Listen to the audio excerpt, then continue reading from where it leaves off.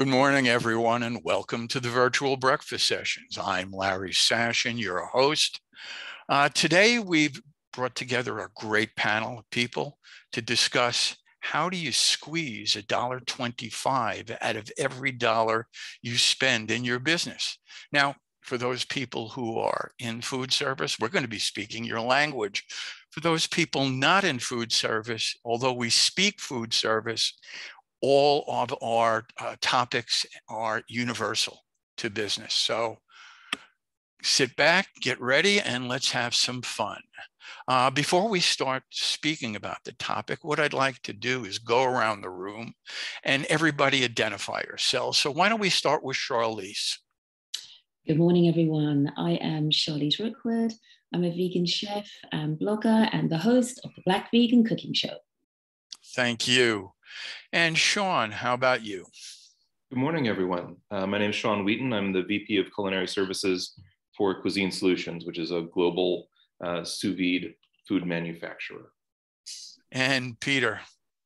Good morning, everyone. Peter Herraro, New York Hospitality Group. We are a hospitality group of five different companies um, in the Westchester area of New York City. Uh, from barbecue to black tie events is our event business.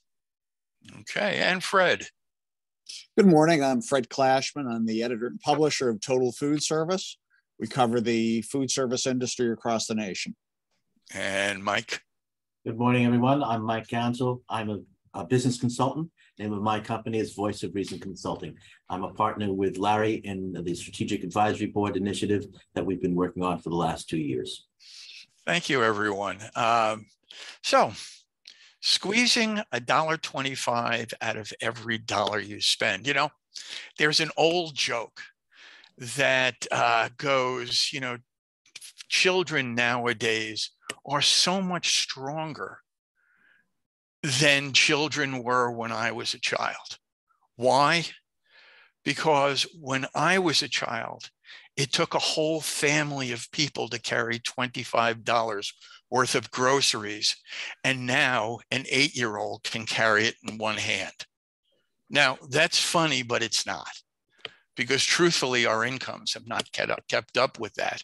And if you run a restaurant or any business, it's hard to charge what it now costs you to do business. So, Peter, um, I'm going to start with you. Uh, you um, you run a restaurant, a wonderful restaurant in White Plains. And in the last five years, I've seen many changes. But you told me something very, very interesting on how you found some of your most, the easiest cost cuts you've had by watching your dishwasher. Talk about that, and then let's go into the climate in your restaurant on how things happen and how you got to watching dishwashers. Let's be honest.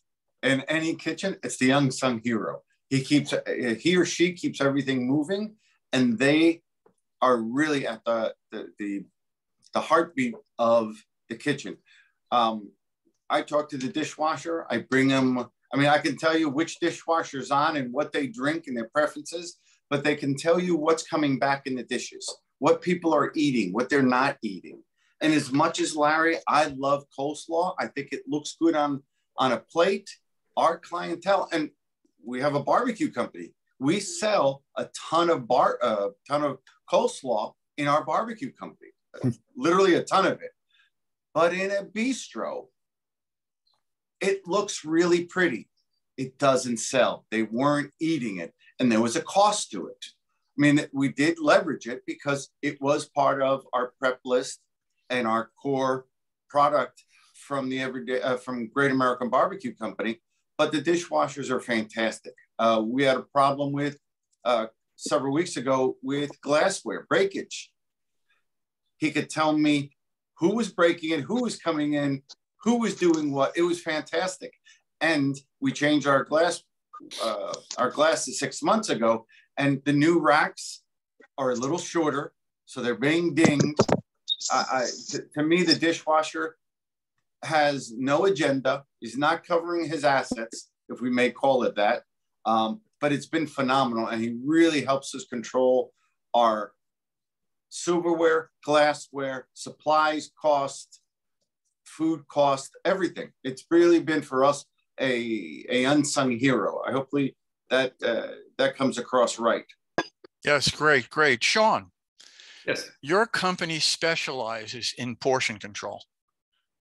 Um, tell the audience a little bit about how you, why that's very important. Portion control is is a key part of cost savings. What we do in portion control is is managing waste. Um, that was one of the first lessons you learned in, cul- in culinary school was to to catch waste and make use of it wherever you can, avoid waste wherever you can.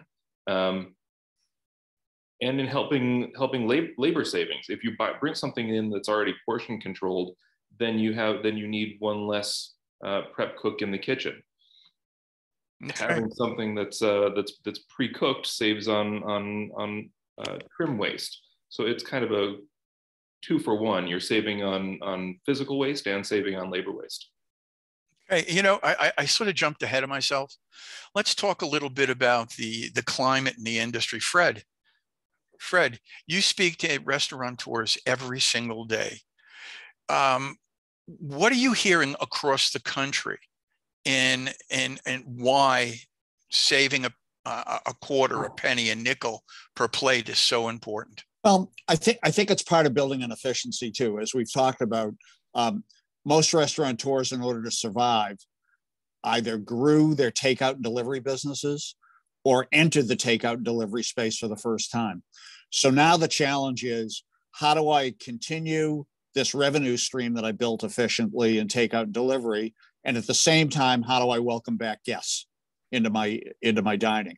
So in order to do that this creation of this magical dollar 25 has become essential in order to survive. So there's a lot of pieces that go with this from packaging to food costs et cetera. It, it goes in, across a number of different platforms. Yeah yeah it, it's I, I see you know if you think back to 2019 and what the average menu looked like at that point. And, um, and now what it looks like today.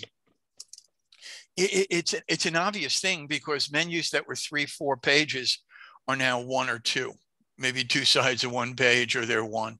Um, and you see the number of items being put on a page, the varieties have been honed down so that items are used. And when you go into the kitchen itself, um, less goes into um, the trash bin.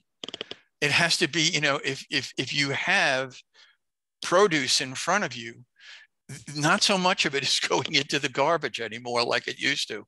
Um, Charlise, you know, you, you, you just did a video that was incredible on, on using every drop of a pineapple.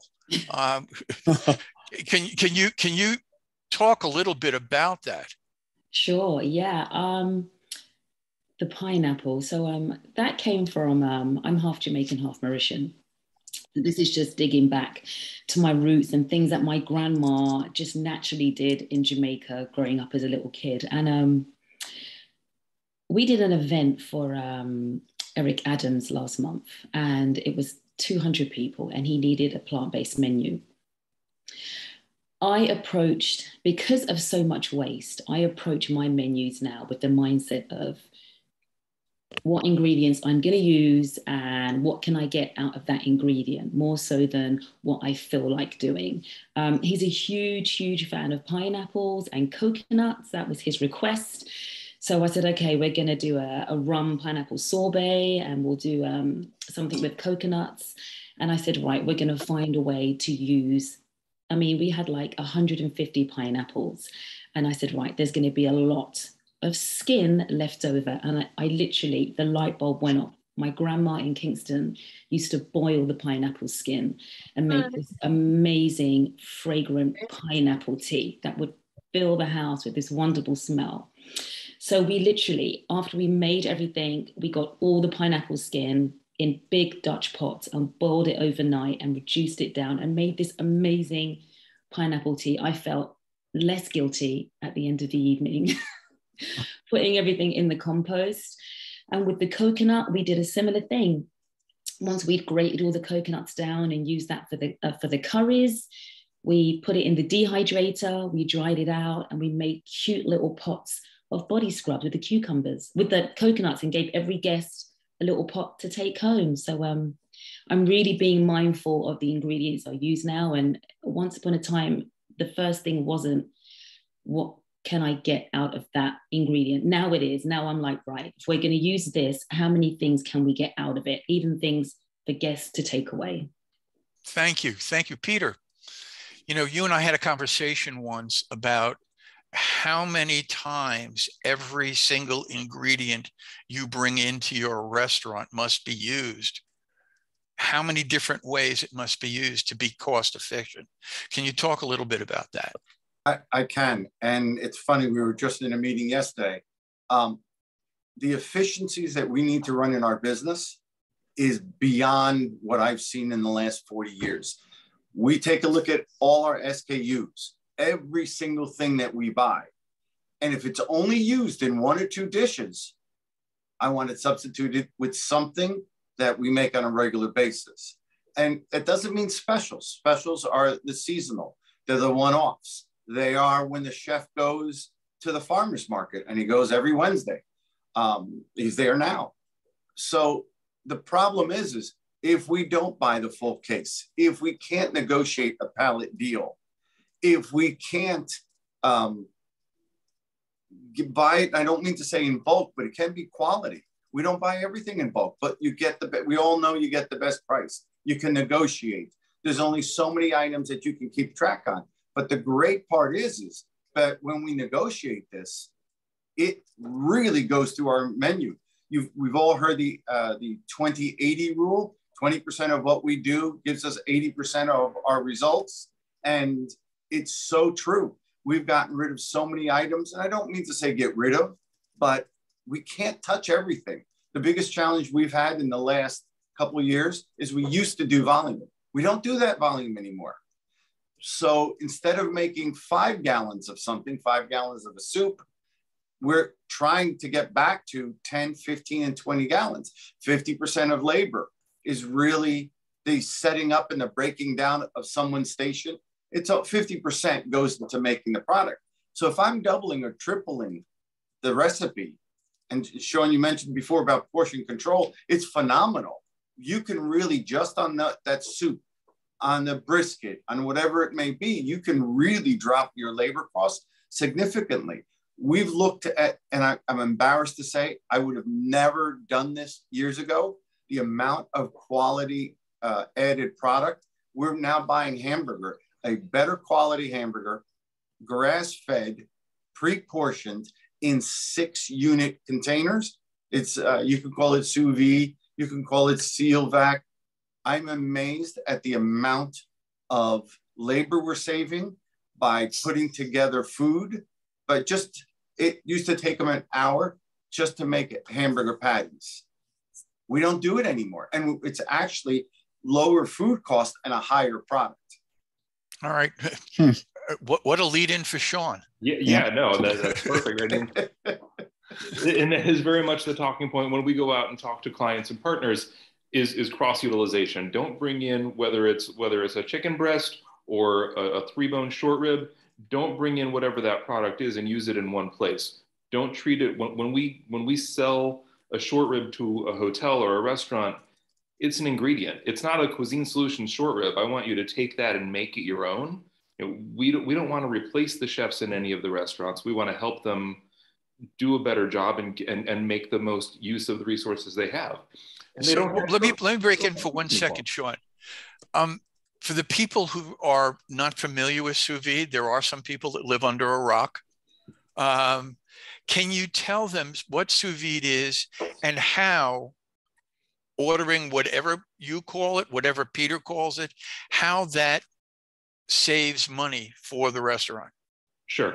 So boiling sous vide as a as a as a concept and as a cooking method um, in its most simple form is encasing a product, whether it's a chicken breast or a carrot, in a second skin, usually plastic, um, and then submerging it in wa- in a water bath at a very precise temperature to cook it and be able to achieve the same result every single time.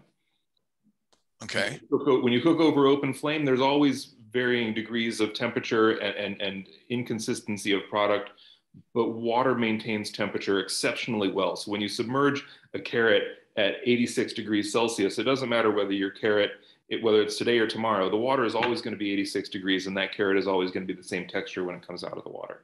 The same goes for chicken or short ribs or whatever the product is. So that's sous vide in a nutshell.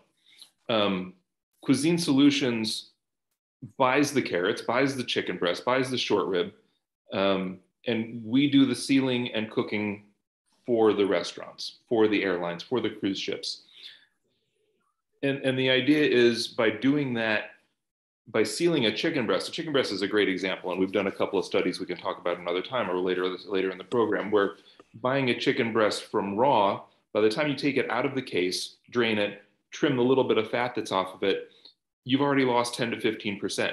If you have to cook a chicken breast on a grill to 165, like the health department says, you're losing another 20, 25%.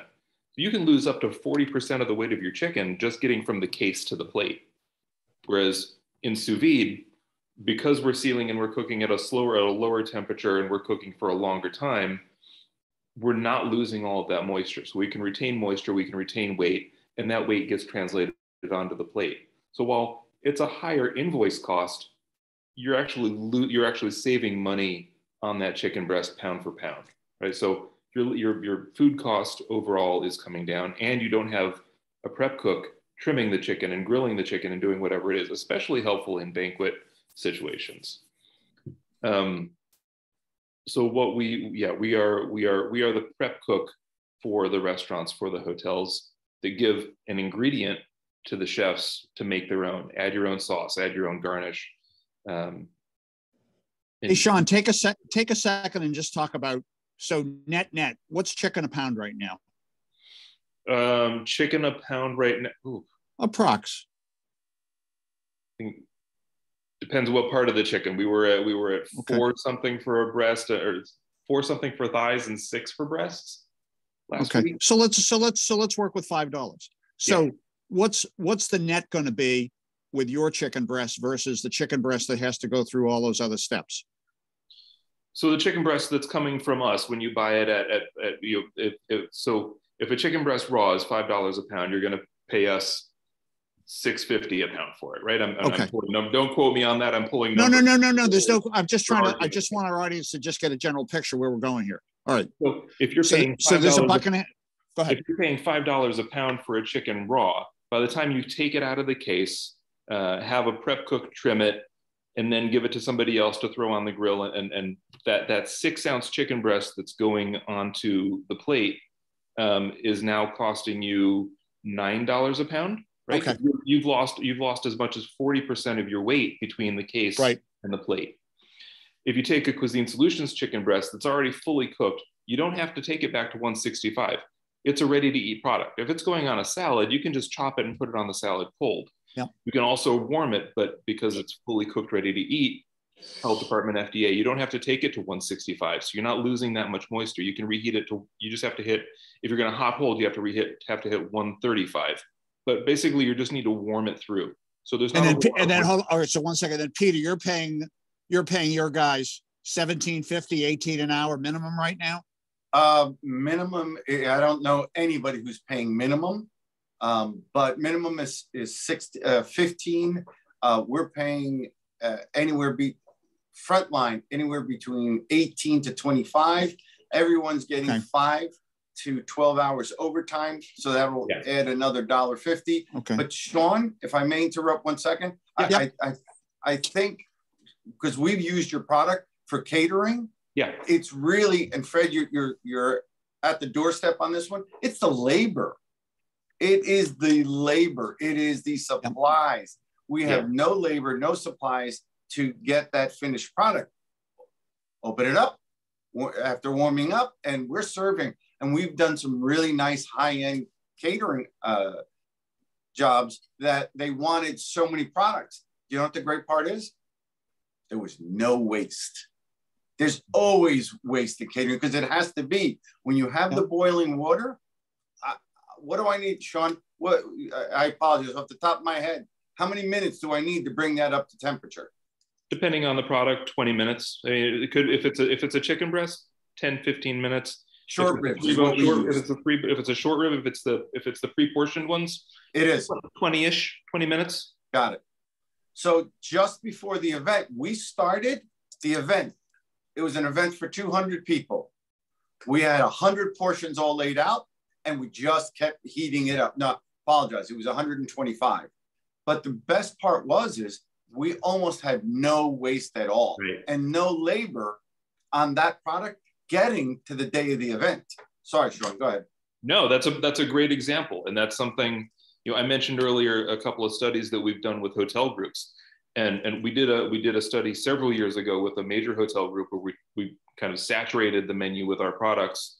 It was a heavy banquet operation. This is pre-pandemic when there was still labor to be had, um, and and over the course of four months, they eliminated their overtime. In their in their banquet kitchen because they didn't have somebody. They didn't have to have all those cooks opening cases, trimming meats, grilling them, chilling them. They, they were able to, as you say, have the have the product there. Have your twenty percent overage for a catering event for a banquet event, but don't heat it up until you know how many people actually walk in the door, and then you're not and then you're not wasting any product. That product is still sealed and pasteurized in a pouch to be used for tomorrow's event much less product going in the trash can at the end of the day. And that's the that's the key. That's it's reducing waste and reducing labor. Not having all those people standing around in a prep kitchen, um, using the labor that you have in ways that the guest is actually going to appreciate. Use those people to put a little extra touch on the plate and and and make it something that's going to be Instagram worthy. Do something that the guest is going to recognize and appreciate because they don't care who raises their short ribs as long as it's hot and delicious when it gets on the plate. Right? That's that's the that's the takeaway. That's the key to what Cuisine Solutions brings to the table. Now you're talking short ribs. You're also talking. There's also vegan forms of this. There's a, you have a large vegan menu also. So it's it's not just meats and things like that.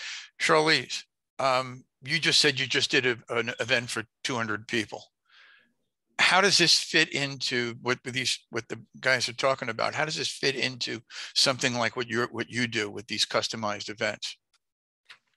It's quite interesting actually because I'm learning a lot on this one. Um, I'm going to have to talk to Sean after this. Yeah, he shared um, shared some amazing things. Obviously, I'm dealing with um, fresh produce mainly, so the waste is insane, and um, with the amounts of kales and um, it would be amazing. He was just talking about carrots, like kind of getting everything sealed and nutrition held inside and just already there instead of just labor, like peeling a billion carrots. And I would love to eliminate a part of that process for events of that size. I wish I knew Sean before I did that event.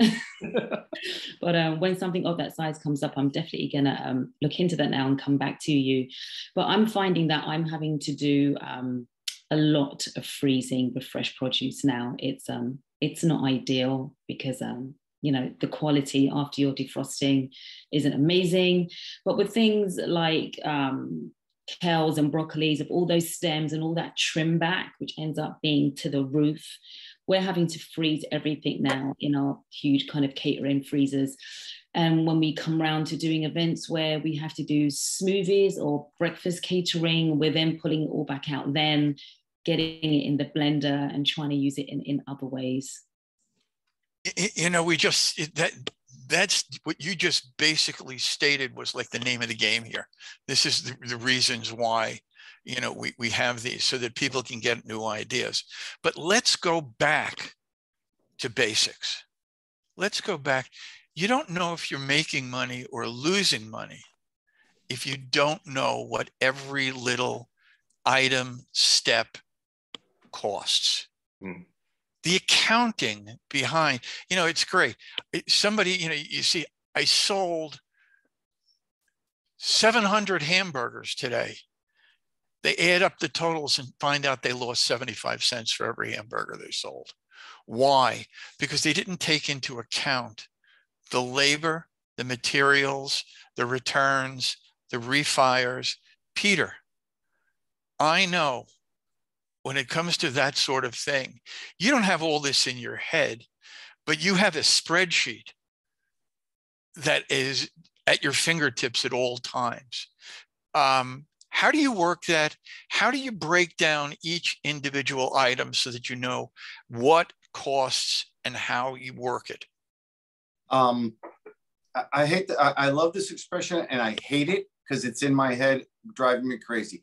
If you cannot measure something, you cannot manage it. We have, and any any of your major or your prime vendors will have. We happen to deal with Sysco. It's called Studio, and whatever we buy, the cost of that is in this program. We measure everything out, and I have to tell you, I'm I've been amazed when we measure everything out, yeah, yeah, yeah, you've been making it for five years. When you measure everything out and you look at it, and all of a sudden, I'm going to pick on um, a salmon, a regular farm raised salmon, and you're like, holy cow, how much is the protein? And how much is the vegetable? And how much and how much is the prep? And how much is the labor? When you add it all in what i love about these programs you can do it on an excel spreadsheet on your own. It won't be as accurate. It'll be a little more labor intensive, but by pricing everything out and checking it, and then checking, looking on a master board to see how it's being prepped, who's prepping it, when it's being prepped, the waste, the whole nine yards, it's phenomenal. We've taken our portion of protein down from it used to be hand cut at eight, eight and a half, nine to six and a half ounces and it is now a Faroe Island. It, we are selling not just salmon, but a specific, healthy, good for the environment fish with a different type of pro, uh, sorry, uh, starch and vegetable. And it really makes a difference. The consumer, at least our consumers, when you say uh, one is organic coffee that we sell, it is more expensive, but I will tell you, when you bring it down to ounces, it's not that expensive. And their customers will pay a slight premium for it. We have a cafe that we do this, and we've gotten two other contracts because the hospital turned around and goes, What are you doing? You're serving organic coffee in our hospital. So if you can't measure something, and I mean across the board, rip through your balance sheet. It took us a year and a half just to get control of our utilities. And I'm embarrassed to say, I watched the utility rate, but it wasn't the utility rate that was killing us. It was our demand charge, which was 40% of our bill. So we could all rip through our, our uh, balance sheets. But if you can't measure something and you can't know how you're using it, Sean brought up a good example before. He is a premium product but I'm not paying for labor. I'm not paying for supplies. I'm not paying for time on my stove. Well, what's the value to that? By dissecting everything, and I mean everything, supplies, we've gotten crazy. The difference between a supply and a disposable, unless you measure it, you can't manage it. Right now, you're measuring and everything that you're everything. doing. That you also you also have a hand on waste, then, don't you? Yep. Yep. Yes. We're, we're it, it, it's waste, and waste is all through the product. Waste of what the customer is not eating. Waste what's left in the pan. What waste what's left on the cutting board. Waste is everywhere, and I we had a big meeting years ago. We just had it again. I don't want to add more employees to the company. Mm-hmm. I just want to pay everybody much better. But then you're not you're ju- you're not a worker. You're not a drone. You're not a dishwasher. You're a sanitation. You're on the sanitation team. And our secret, it's for the most part it's working is teams. Now I will tell you, people will self-manage themselves to a degree. And if a team's not working, you talk to two, three, or four, and you find out who the culprit who's dragging everybody down very, very quickly. Um, but it really does help having, we have studio. I mean, there's so many food costing items out there, but I suggest to everybody, do you know how much you're paying for a kilowatt? You can negotiate that. Do you know how much you're using per hour? And your bill will tell you, because they love to give you 100% tax on that. Um, it took us 18 months. We took our um, utility bills. It, it was a brutal 18 months. It's not my um, it's not my expertise. We're $185,000 a year. It's about $15,000 a month. We, we got down to 95,000. Wow. Uh, it was, I can tell you the color of a light bulb. I can tell you its wattage, LED, variable speed motors in our um, walk-ins. I mean, I know showing you you probably have the um, we're all jealous of your refrigerators and freezers do you know there's a variable speed for the compre- uh, for the compressors in your walk-ins everything needs to be managed and if you can't measure it i don't mean to com- com- uh, keep repeating myself you you measure it and you look at it you go woof mm-hmm.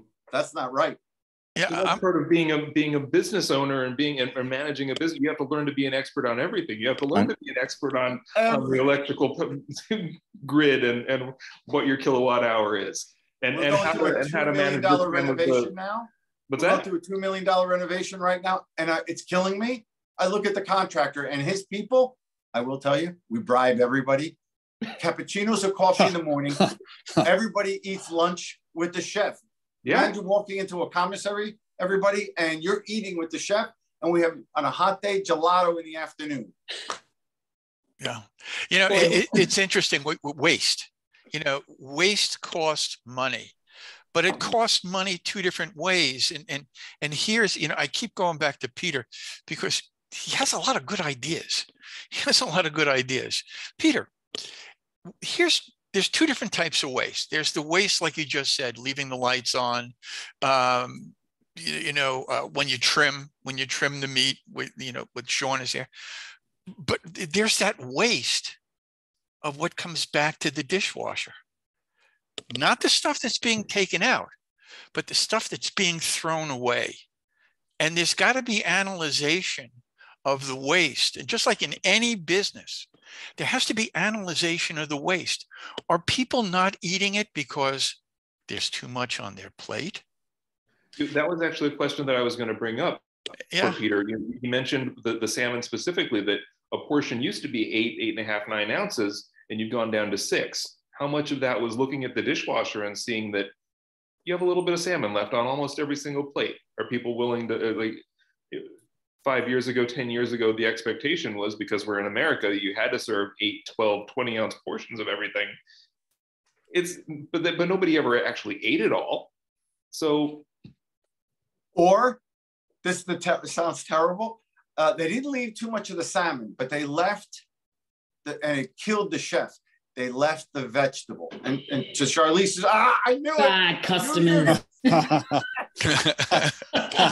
Terrible. Say something. So to your point, Sean, they're eating the whole dish. And I'm sorry, when you're eating the whole dish, a true chef to me, his vegetable, his starch is off the hook. Yeah. You gotta eat it all. And I want you to have a little room for a shareable dessert. yeah, yeah. That's the key. Okay, so Charlise, if the vegetables now we're, we're, back to waste and how do you control waste? So if the vegetables are coming back maybe the steamed or sauteed the five green beans that are just thrown on there and, and, and it's not you peter it's in general. The yeah. vegetables on any plate are an afterthought. So charlise how do they make those vegetables work for them Wow. Okay. So obviously, I'm just eating with vegetables. so that's so much my, harder, Charlise. Okay, hold on one second. Yeah. Think about that for a second. Yeah. Um, James, unmute yourself. Hello, everybody. Um, Tell everybody who you are. Yes, so James Corwell, um, certified master chef, sustainability chef, also plant-based focused at, at the moment. Um, to your question, I find that most of the butchering and manufacturing of food has gone up the food chain to the corporate level. But you bring up a good point, Larry. Where can the chef really show his craftsmanship? And it's in the vegetables and starches. So you can have a wonderful short rib, but maybe you have a great uh, Genoa style lasagna as the starch and vegetable at the top at 12 o'clock on the plate and a wonderful sauce to go with it. So uh, obviously portioned correctly, but therein lies the nut of what a chef does is cook something delicious and in a crafty kind of way. So between you and Charlise, how does how does and I, am not going to say Peter because Peter's I eat every vegetable on Peter's plates. Uh, uh, but how does the average chef get away from steaming peas and carrots and throwing a boiled potato on a plate and saying, "Hey, we gave him vegetables." I guess in my case, I would never handle a vegetable like that first and foremost, and and I never have. But you're the minority. I am the my I am the minority, and I'm guessing on my the plates that I'm presenting, my vegetables are not kind of competing with the ribeye or the salmon or the shrimp or the lobster. So I guess the attention that I'm going to give to my Jamaican jerk oyster mushrooms, that vegetable actually is the highlight on the plate. So it doesn't really kind of get ignored because it is the star. So I guess I am kind of speaking from a minority space. Okay, so, but um, how do, yes, that's the star. And on a vegan dish, that's the star. Mm. But I got to believe yes. that 85 to 90% of all the vegetables served in the United States mm. are not the star. They're not. You're right. They're not. They're just some little satellite planet someplace. So how do we make that satellite look like the moon, the full moon? So come to one of my events. okay. well, well, we have to integrate it, right? Yeah. Um, yeah. So, and I find if you can't do separate little piles of vegetables where that's become passe, create um, you know, an autumn vegetable stew or a winter vegetable stew, ragu, what have you. Um, a sweet potato and apple bacon hash. Um, you know, hashes are another good way to bring a lot of vegetables in play to add focus to the plate and to integrate it with the protein. Great, great. Charlise, what do you have to pick up on that? I mean, I've seen some of your videos with some of the the stews and things that you make. How does how does the average everyday chef make it so his vegetables are not throwaways? What kind of hashes and stews? I, I think James um, hit the nail on the head. It's in, it's not kind of just putting a green bean or a piece of courgette on a plate. It's how you incorporate it into something really delicious. I do a lot of stews, also a lot of curries, um, or I'll put eggplants and cassava, and it's it's just incorporating it into a really flavorsome dish where people can't necessarily identify what that vegetable is but they're just eating something delicious that it's incorporated into. I think that's the key. It's combining vegetables into something flavorsome instead of just placing them individually on a plate, which gives people the opportunity to kind of push them around and think about, oh, I'm not so keen on carrots. I, when I present my food, um, you don't necessarily know what veggies are in that dish that you're eating, but it tastes damn good. Isn't that how we used to feed our kids vegetables? Yes. We used to incorporate it into the yeah, chop basically, meat or treat, like treat them like children and disguise everything. to make it look and smell good. It's not yeah. a pile of green and orange stuff. Make spend a little prep. Exactly. And it's so much easier to put out because truly, once your peas and carrots and all these things get cold, they're horrible. They are. It's like the last the last event I did. I had um at the end of it, um Eric Adams came into the kitchen and he said, "I have detested okra since I was a little kid," and he said, "But the way you presented that okra, he was like, I don't know how you did it, but it's like it. So it's about how you present it. You know, yeah. that's yeah, okra. Okra is is the vegetable version of a slug. Yeah. right. No, it literally it's a love it's a love hate, but I have but it, but it tastes wonderful. Many a person into loving okra. You know, if you uh, put the right seasonings and turmerics and ginger and garlic and. Mm. You're incorporating. It smells so. How can I hate this thing? Because exactly. it smells so good and it looks so good. Instead of take that stuff, throw it on the plate, and it's only going. You might as well put a cardboard picture there instead, because they're both going to end up in the same place. Absolutely. So you talk about waste. Spend a little time, think a little bit about what you're putting out there, and things won't be wasted. And mm-hmm. lo and behold, you know, this is another, this is what we're going to be speaking about at the at the virtual breakfast session at the Plant-Based World Expo. Once you start making it smell good, look good and people taste it, that's when people will say, What is that that's on the plate over there? It smells so good. Um, tune in in yeah. a couple weeks for that one. Mm-hmm. Um, but adding adding drama, right? So everybody loves the, the that, that sizzling fajita through through the restaurant. Um, how do you get that? And that that was a I think that was a different breakfast session that you did. Well, what's over? What, what are they eating over there? Yes. Um, so how do you get that into vegetables? And and i think as as chefs as restaurateurs we all need to be conscientious of, of everything that goes on the plate. If you can't measure it you can't manage it. And if you can't if you don't understand what you're putting on the plate if you're not understanding the full picture of the guest experience you know, that is that that boils down to the mashed potatoes and green beans. Every single part of what goes onto the plate and what goes in front of the guest is part of that experience and they're going to judge you on that. So your vegetables have to be just as thoughtful as as the protein if not more because that's that's where you have the space to really kind of let your imagination run wild. Eh, uh, a perfect example. My wife will not eat cooked peas cooked carrots but she eats fried rice. It's in every fried rice peas and carrots. She eats them but you put peas and carrots on a plate, you go, hmm.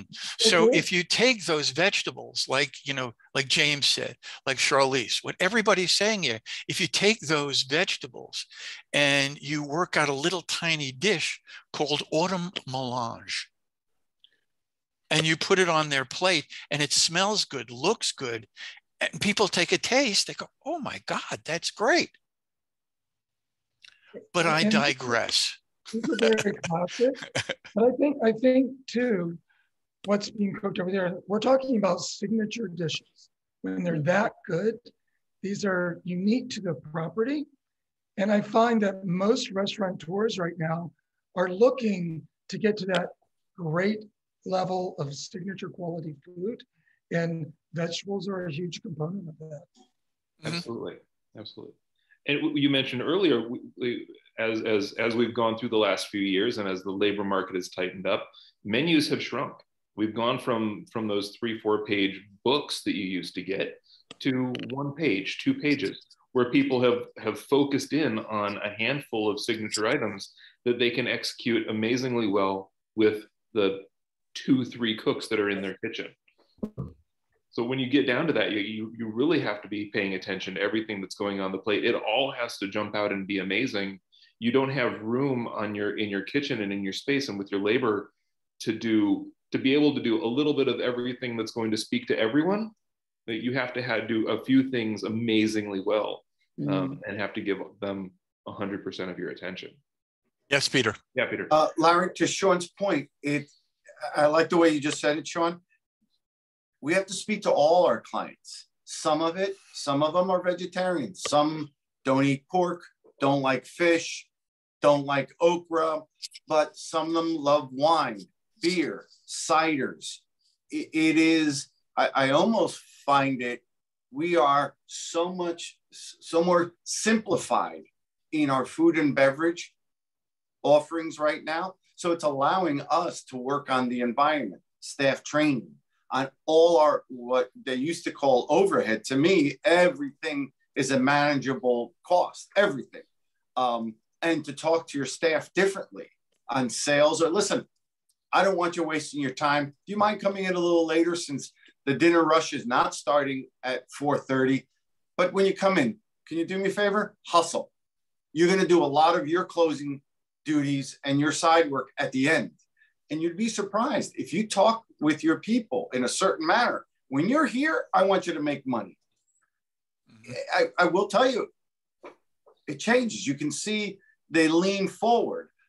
The limited menus I love because we can do what we do so much better and we can measure it so we can manage it. And really, I, am amazed at the work that so many of our uh, vendors have done with value added products. But to back to Sean's point, I apologize, I'm digressing. It's the total package that they're coming here for. I finally learned it's not this, it's not about staff personality. It's not about just the food or just the beverage or just the music. It's everything. Yeah, you know, okay, one last comment from Charlise. Yeah, it's really interesting what what Peter said. It's it's catering to everybody. Um, I don't necessarily cater to vegans. My audience is my events are non-vegans, and they are requesting this um, comfort and fulfillment of having something that's going to mimic meat and walk out with that with that feeling. And I've had to completely pull back on using the impossibles and the beyonds um, because it's not affordable. And now I'm having to really venture into using mushrooms and making seitans and lentils and trying to just bringing those meat substitutes together myself by hand at creating something more so than buying pre-made, um, you know, meat substitutes. Yes, yes. You know, uh, uh, we there's so many things we haven't touched on and it's going to have to be another another time because we're getting near that time where we have to start wrapping up. I just don't want to bring in one point that i that we haven't touched on which will bridge into the next time. Uh, peter just one easy fast question. How many people in your restaurant only have one job? None Okay, that's the answer right there. That's the bridge to the next one. What used to be hired to do a job. And this is something we, this is a bridge to the next time because this is really important. You see a job application now, and it's for a job. When you're in a restaurant or you're in any small company now, nobody can afford to have somebody do one thing everyone must wear a lot of hats. So what we're going to do in the last remaining minutes of, of this um, this breakfast session. First of all, I want to thank everybody here for coming. It was fantastic. The people in the audience, thanks for getting up and spending time with us. Uh, the people who took time from their work, thank you, thank you, thank you. But what I'd like to do is go around the room here on the panel and give people that one little point that you you know in the case of like mike and fred and myself the point that we picked up on but the people in the panel one takeaway that people should know on how to squeeze that dollar and a quarter out start with charlise. I would say uh, all your veggie scraps. Boil them freeze them put them in the dehydrator um, just find any ways that you can just reuse them. Okay. Peter. I'm talked out. Oh, whoa. Impossible. Whoa. Everybody, everybody has got, uh, as you can tell, my brain is rattling. It's, it's been a phenomenal, it's been, Larry, this has been the best breakfast I've, I've gotten and heard from so many different ideas. And because you're in the whirlpool of all of us and, and listening to everybody, you know, I'm going to work fired up right now. Like to hear that. Sean. Uh, how to squeeze a dollar 25 out, out of a dollar. Waste reduction. right? It, it's it's managing your waste, it's managing your cost. That is that is the core of it. Whether it's whether it's vegetable trim or or making the most out of your staff, um, and encouraging your staff to do more with the time that they have. I think that's I think Peter mentioned that that is that is absolutely key. But Okay, waste reduction. thank you. James? Oh, yeah, um, just to really echo what Shirley said about the tea, I really found that interesting because in classical cuisine, we're always taught to use up the trimmings and make stocks and fortify our sauces and things of that nature. So I think there's something to be said for our vegetable trimmings that way. And then it's always helps to buy at the peak of the season when a vegetable is most prolific. Consequently, the costs are a bit lower than when it's out of season. So anyway. Thank you. Fred? I think the one thing that we that we missed, it's incredibly difficult to be Van Gogh or Cezanne or Monet and paint a building and, paint a painting and be be artistic and creative, and at the same time be expected to figure out how much the canvas costs and how much the paint costs. So that's really, really, really tough. And I think that's the challenge that I walk away from with this today is how do you actually do it? You want to do it and the resources are there. How do you do it? Right? Right. There are different kinds of painters. Yep. Amen. Yes, yes. Mike? Uh, well, I've come away listening uh, really intently here. I guess uh, Peter, measure everything, and uh, Sean, waste reduction. Uh, I think those are really two critical uh, takeaways for me. Okay. Well, we basically know that very soon there's going to be squeezing a dollar twenty-five out of a dollar two. uh, because we can go on with this subject for hours. And I think as you were listening, as the session went on, the as Peter said, the whirlpool got faster and faster and faster, and uh, an hour doesn't let us get into that. So, oh, thank you all for coming here. Um, we are going to be throwing uh, this this video up on uh, YouTube. It'll be there.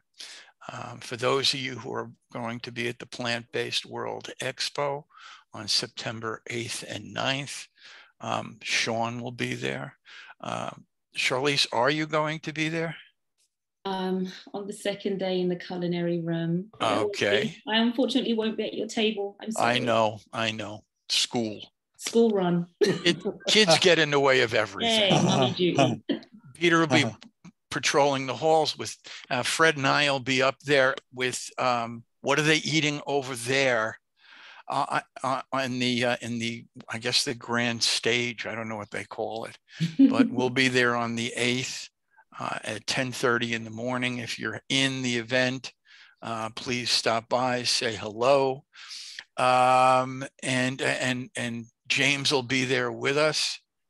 Wave again, James, so people know who you are. James will be there with us. Um, forward to it, I might say. yeah, it's it's it's a it's a great event, uh, and otherwise we'll see you on September fourteenth, back on Zoom. So um, thanks for coming. Uh, thank you, panel. And I just have two things to say. Everyone, please stay positive, test negative. Catch you later. Bye now. Thank you. Thanks, Larry. you. Bye, Thank everybody. you very much. Thanks, Bye, guys. everyone. Great day. Bye now. Thank you so much.